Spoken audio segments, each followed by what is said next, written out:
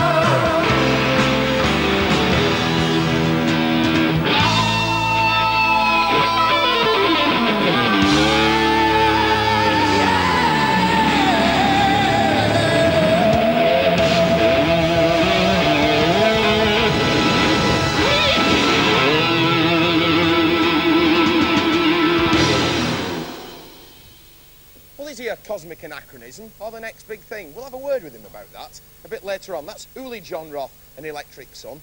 Listen, you left a, a very successful group, the Scorpions, to go solo. Why did you do that?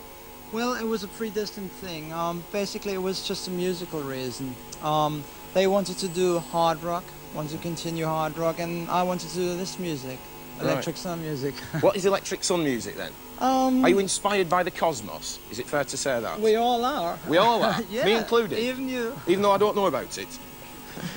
Maybe you know more than you think. Ah, possibly, yeah. Are, are you not frightened that in 1985, not worried that uh, the kind of music that you play may be construed to be very old-fashioned?